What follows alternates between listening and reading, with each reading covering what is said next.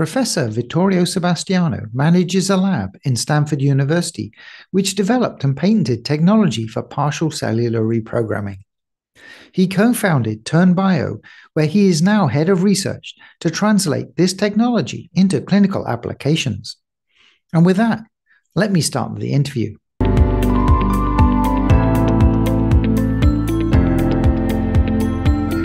Professor Sebastiano. You run a lab in the Institute of Stem Cell Biology and Regenerative Medicine at Stanford University and are the head of research at TurnBio. So, welcome back to Modern Health Span. Hi, so, thank you for, for having me. Uh, you are very welcome. So, we talked to you about two years ago on the work you were doing hmm. in your lab at, and at TurnBio. So, I'm very much looking forward to catching up on the very exciting technology that you're working on. So I saw that you recently were appointed the head of research at TurnBio. So could you tell me a little bit about TurnBio and your role there and how it has changed? Sure. Well, TurnBio is uh, is a startup. Uh, is a, is the company that I co-founded uh, a few years back, um, and uh, the mission of TurnBio is really to try to to tackle fundamentally the problem of of aging and aging associated disorders. Um, the foundational technology uh, at the base of uh, the basis of, of Turn is uh, um, technology that we de- developed, uh, invented, and developed and implemented in my lab at Stanford, and that that was subsequently uh, exclusively licensed to to Turn. Uh, which is a technology that you know in in very simple words uh, allows for the rejuvenation of theoretically any human cell type uh, to a more a more youthful, a more functional, a more functional state. Uh, so the mission of TurnBio is really to to, to use this uh, technology that we think is going to be groundbreaking, uh, and really start applying it to a variety of different uh, aging associated uh, indications. Um, and yeah, as such, Turn is is developing a number of different research programs uh, and as head of research of, of Turn, I'm overseeing those those research programs. So I'm making sure that my my background as a scientist uh, and uh, the rigor that I typically apply to to you know to the to the work that I do um, is is really met. Uh, it's absolutely important that uh, we go by the really the rigorous standards of of research, and we make sure that, in particular, from a safety standpoint, but obviously also from an efficacy standpoint that we really check all the all the boxes so um, in brief uh, really i'm overseeing the, the, the research efforts of turn can you talk a little bit about uh, more about the mm-hmm. technology like kind of the background to the technology so you have era right the uh, what does era stand for sorry i forgot ERA stands for Epigenetic Reprogramming of Aging. Epigenetic Reprogramming of Aging. Thank you. So, can you talk, uh, you know, like the theory of how ERA works? Sure. So, uh, ERA pretty much is uh, it, it, can to, to some extent it can also can also be um, the, the, the the definition of ERA or the the way ERA works uh, is very similar to what people typically refer to transient reprogramming or partial reprogramming. So what does that mean? Reprogramming means that you are basically resetting a specific program, a cellular program, into a different one.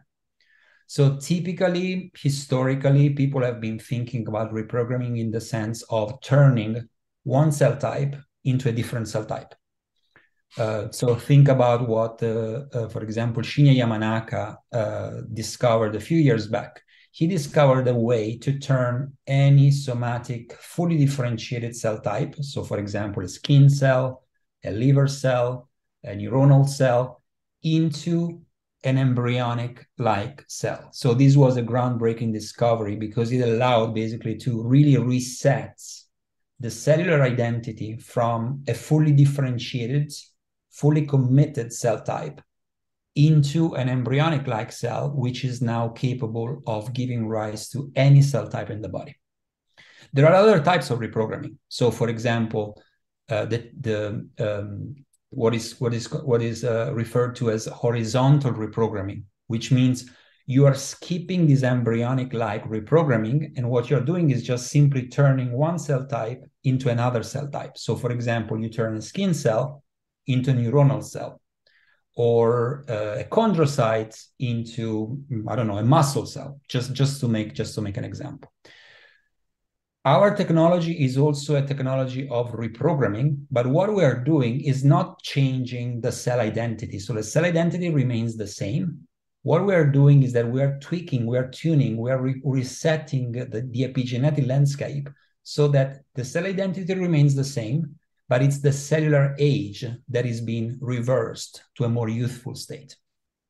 So this is what reprogram uh, era is all about. How do we do it? Well, we do it by providing the cells with a cocktail of mRNAs that if transiently expressed, and transient expression is really the key concept here, uh, if transiently expressed, these factors can basically go into the nucleus and uh, reset, rewind, reprogram the epigenetic landscape of the cells so that the cell is kind of reverted back to a more functional, more youthful uh, state. okay, so when you're when you're reprogramming them, right, it, you have to get to a certain point until b- b- before it kind of uh, changes identity. So, mm-hmm. how well is that point defined, like the point of no return? Yeah, well, it's it's kind of an interesting and tricky question at the same time. So this point of no return uh, is uh, is an empirical uh, kind of state or an empirical time mm-hmm. during the reprogramming process uh, beyond which you you don't want to go because again you know of course the you it's it's kind of you know going through or or yeah if you pass that state you are starting losing a cell identity so it's absolutely important that we define that point of no return. And how do we define it? Well in in uh, a turn and in my lab the way we define it is that is by really carefully understanding the process of reprogramming in a very in a cell specific fashion. So the point of no return for fibroblasts is very different for the point of no return for chondrocytes, or it's very different from the point of no return for blood cells or for stem cells. So it's absolutely important that we first understand when that point of no return occurs. Uh, and by knowing that, then we know the window of opportunity or the window of intervention by which we can apply the transient reprogramming, not having the cell identity loss, but having the rejuvenation effects happening. So, a couple of other kind of general questions. So, do you see the epigenetic changes as being kind of the root of the other hallmarks of aging, right? As the the key one that's driving all the other changes. Oh, yes, I absolutely agree with that statement. Uh, I mean, I'm, I'm, sure that many colleagues actually are, uh, do, do, not agree with me. Mm-hmm. But I, I fundamentally believe that really the epigenetic uh, the, the, epigenetic changes are considered to be one of the hallmarks, one of the mm-hmm. many hallmarks of, of aging. Mm. I personally think that it's probably one of the the in the if if we were to kind of you know draw a kind of a, a tree or a hierarchical tree a tree of of of uh, you know of these hallmarks, I think that the epigenetic changes are really um, at the core uh, and they can actually explain most, if not all, of the other of the other changes in ways that are obviously still, uh, you know, uh, we still do not fully understand and grasp, obviously, because the the field is actually moving very very fast, and there is there is a lot of work going on here. But I I, I personally think that fundamentally. Um, um, the epigenetic changes as, are really kind of the roots of all the other hallmarks of all the other changes that you see happening with with age. Uh, and as such uh, if we can really tackle them then we can have kind of a domino effect on pretty much all of the all, all of the other ones that are in a way subordinates, you know to the to the epigenetic changes.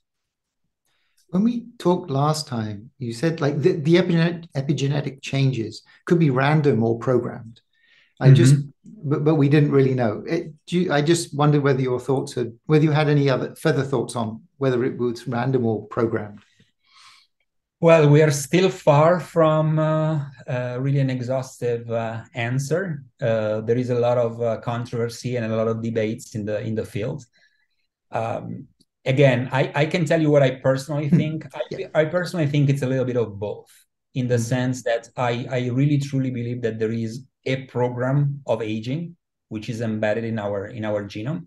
Mm-hmm um, and the very simple reason behind that thinking is the fact that the consideration, at least, that um, we uh, different species have a very kind of a, a certain uh, pattern of aging. Okay. Uh, and you know we we age over the course of a, a, certain number of years and then other animals you know age uh, over the course of a different uh, number of years. So that that is explained really by something that is really developmentally embedded in the in the genome somehow.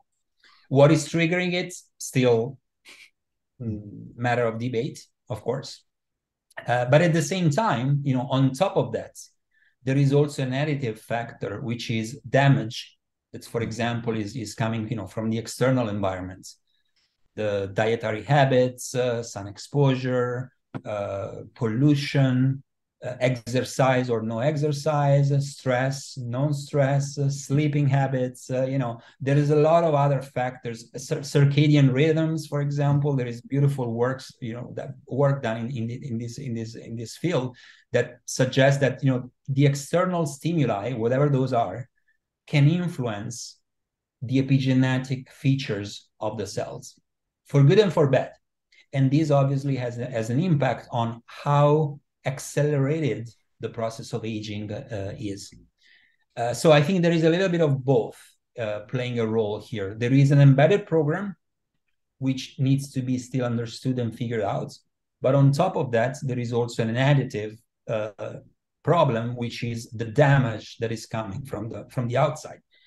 But it doesn't really matter. Again, I I I, I always say this that it doesn't really matter um, how and the weight of either one of, of, those. At the end of the day, both kind of uh, result in changes in the epigenetic landscape of the cells. And that's really the, the program that we need to understand and the program that we need to tune and tweak and reprogram in order for the cells to kind of delay the process of aging or even reverse the process of aging.